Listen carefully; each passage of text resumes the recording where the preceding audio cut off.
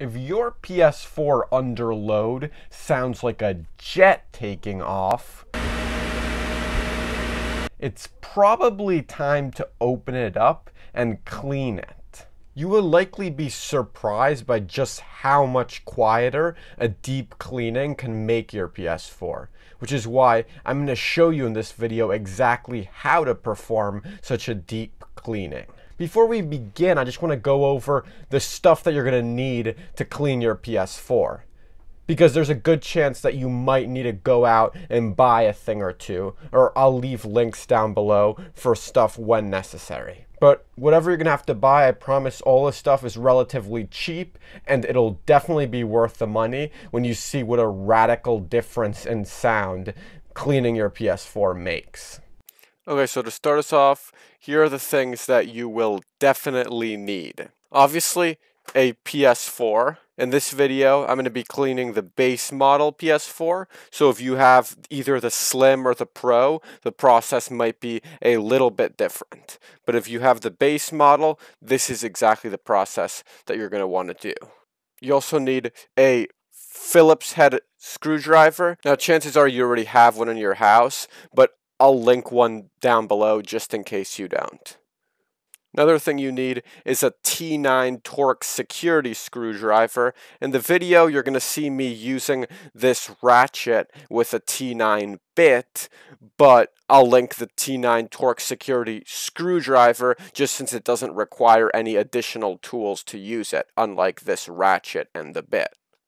Now, those are the only things you absolutely need because there's many different methods of cleaning obviously but there's several other things that I highly recommend you use to get the best cleaning possible and to make it as quiet as possible once it's reassembled.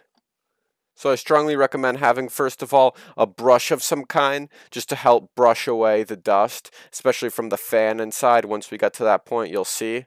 A can of air, such as this one. I'll also link this down below, but this will be excellent for getting any dust out of the hard to reach places of the PS4.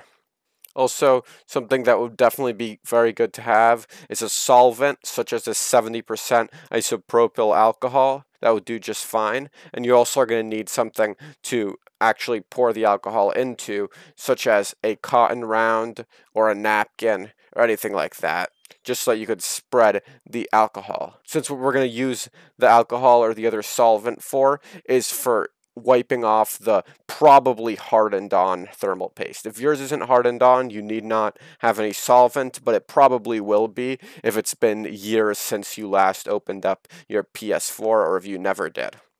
You also are going to want a tube of thermal paste to apply after you remove the dried hardened on paste. Finally, a good thing to have is a face mask. This is not for COVID actually, in this case, but it's because when you're cleaning out the PS4, chances are there's going to be a ton of dust and it could cause sneezing and other annoying symptoms that could be possibly avoided by wearing a mask. Okay, so you're going to want to pick up your PS4 and see on the back here that there's four places where there are screws. One, two, three, four. You just want to go ahead and remove all four of those screws. Yours might be covered with like a sticker that you're going to have to remove with some, some tweezers to just take it off, right? Or even just a knife to just put under there and lift it off because it's a bit of a sticker that's a bit hard to get off. But once you do that, you'll be voiding your warranty. Just a warning but I doubt you care because you're probably already out of warranty by this point anyway, after having a PS4 for likely years. So I'm just going to go ahead and remove those four screws. And in case you couldn't tell, these screws are to be removed with the T9 Torx security screwdriver, as most of the screws in the PS4 will be. Okay, so I've removed the four screws. Go ahead and remove this back cover. The bottom one should come off pretty easily. Now here it's time to do our first bit of cleaning, so just clean out this bottom tray here, which is obviously not a lot of dust compared to other parts of the system, but still doesn't hurt to clean it. You can clean using either a brush or a paper towel or anything like that. Well, it's hard to get every last bit out, and this part has much, much less dust than other parts, like I said, so I'd call this good enough. Now that we've removed the bottom cover, we have access to the fan, the power supply, and the optical drive. First thing, before going and cleaning the fan or anything, we're just going to go ahead and remove the power supply. So remove these two screws, these two, and this one. So just go ahead and remove those five. Okay, so I've removed all five screws, but before we remove the power supply here, there's one more thing that we're going to want to do, and that requires flipping over the console. Just take the small side here and just move it to the side, and it should just pop out like that. Okay, just real quick, we want to just wipe out this part again. Same thing as the bottom cover.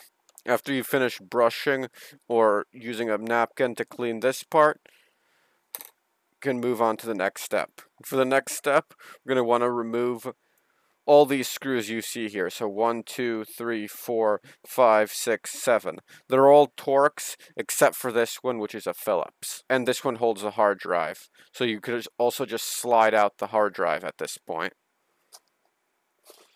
There goes the hard drive. Okay, now that we've finished removing all of the screws and the hard drive as well, what you're going to want to do first is clean out the hard drive. Once again, make use of canned air, brush, and a napkin perhaps as you see fit to clean it off. To get a deep cleaning, I'm going to remove the hard drive from its bay and clean it off even more with the brush. Now that the hard drive's been cleaned, you can just put that aside and proceed to flip over the console again. Now you can go ahead and remove the power supply. It should just come out like this. The only thing is there's one cable still attached from the power supply to the motherboard, so you want to make sure to disconnect that before removing the power supply completely. Now we want to clean off the power supply, and this is where the canned air comes into the equation, because that way we don't actually have to open up the power supply, we can just blow the canned air through here. So to clean off the power supply, blow the canned air or use a napkin for the outside and blow the canned air through here a lot in the vents in the back especially. Okay, so I've finished doing a decent cleaning of the power supply and you probably saw how much dust there was and we're not even close to the part where there's really going to be a lot of dust. So you can just put the power supply aside for now. This would also be the part where we remove the disk drive if we were doing a full disassembly, but there's just no reason to do that since there's not going to be much dust around there to remove. So it's the one thing we're going to leave. But what you do have to do in this step is disconnect three things. The Wi-Fi antenna right here, just give that a tug and it'll come right off. The optical drive power connector right here, tug that out as well. And then finally, the data ribbon cable for the optical drive. And to do that, you're going to see a small silver rectangle here, and you just want to gently press down on that while you pull out this band. And it'll just come out right like that. We're going to get to cleaning all this later, but for now you can just flip over the console again. Now's the part where you're going to have to pop off this part, which is a little bit trickier than the bottom part. What you're going to want to do is first pull around this edge of the console, and it should just pop like that. And then the other edge might be a bit trickier, but you just want to give it a good tug and it should pop right off like that as well. Now, first thing again, we're going to want to clean out all the dust in here. So go ahead and do that. Once you got it clean, you can just put it aside. And now we want to go ahead and remove all these screws. One, two, three, four, five, six, seven. These are all Torx security screws. Now that all those screws are gone, these two here, as you can see, are Phillips head screws, and what they're doing is applying pressure to the CPU. So they're a bit different screws, but just go ahead and remove them normally. Now this sort of plate-like thing, you can just go and wipe off the dust, or blow it off with the canned air. Okay, now that that's clean, you can go ahead and remove the fan connector right here if you haven't done that already. And then remove this metal plate here. Should just come right off now that all the screws are gone. And voila.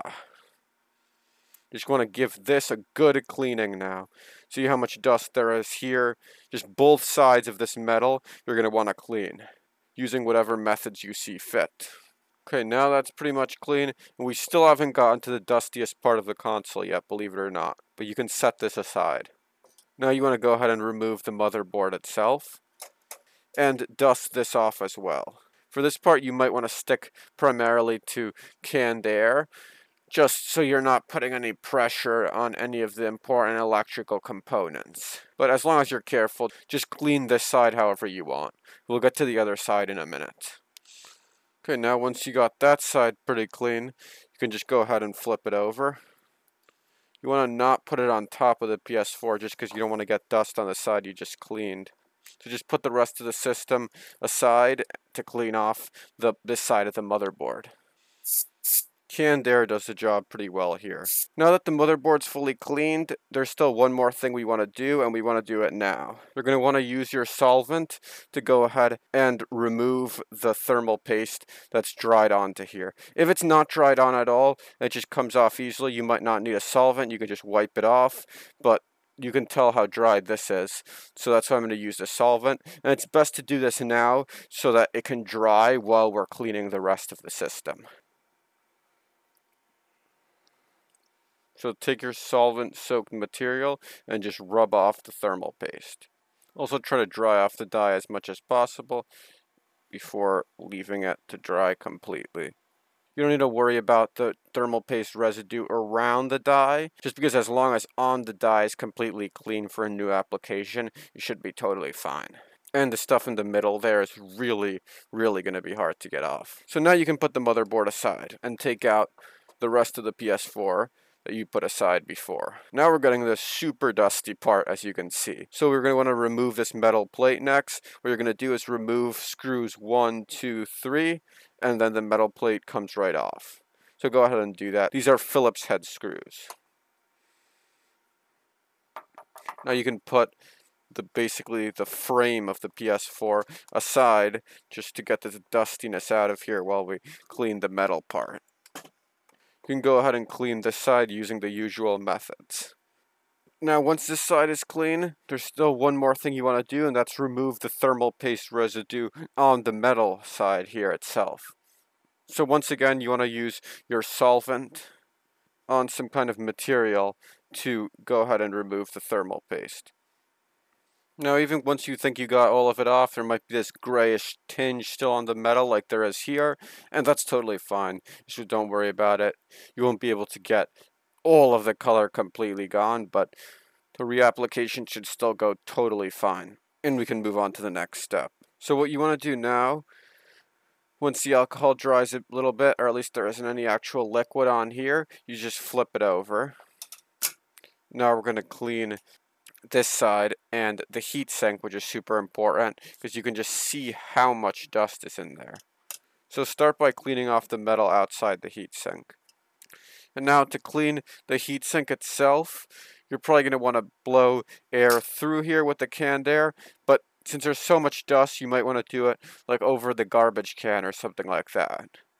Now once you've gotten all of the dust off of both sides of these, or at least the majority of the dust out of the heatsink especially. You want to make sure you got all that out with the canned air. Once you're done with that, you can move on to the next step. And that involves cleaning the fan and the remainder of the chassis. So first we're going to remove the fan by taking out these two screws, one and two, Phillips heads. Now you'll find the brush and canned air useful for cleaning the fan, so go ahead and clean the fan first. Now with the fan also, it will prove about impossible to remove every last bit of the dust. So just by removing the vast majority of the dust, you can be all set. Put the fan aside now. Now here's the last step.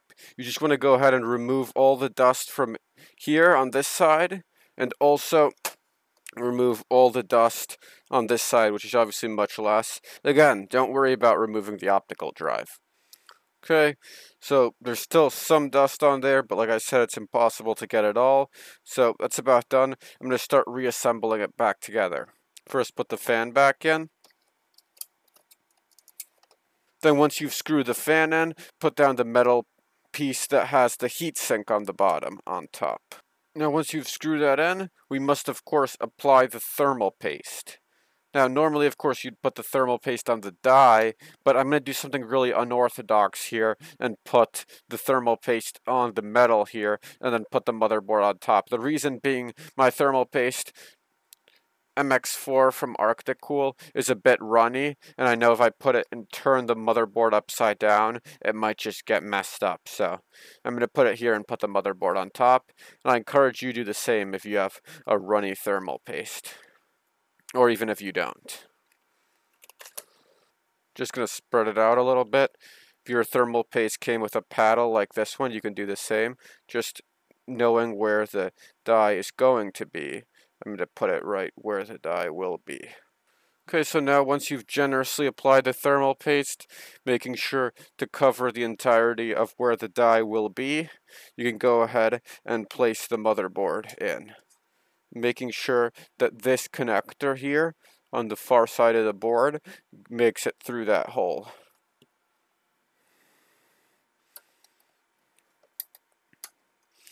And you also have to make sure that all these connectors get into the I.O. shield in the back. And once that's done, you can go ahead and put the other metal sheet on top of the motherboard. And now screw it down in all the screw holes that you see. Okay, so once you've put those screws in, you can go ahead and reapply this mounting mechanism for the pressure on the die. Make sure to screw these screws in tightly. Now you just want to slide in the hard drive, plug in the fan connector, and then you can flip over the PS4. Now first reconnect the Wi-Fi antenna just press it on and it reconnects. Here you can see the power connector for the optical drive, plug that in too. And press down on the silver rectangle again and slide in the data ribbon cable for the optical drive as well. Now take the power supply and connect its connector to the one on the motherboard. Once that's in, you can go ahead and reseat the power supply. Now once you've screwed in the power supply, you can go ahead and put on the bottom cover. And the top cover. And the other top cover. And then just screw in the four screws in the back. And now we're done. The PS4 is dust free and back together. So there you guys have it. Now your PS4 is back together and clean as a whistle. So it should make much less noise. Thank you guys for watching and I hope to see you all in the next one.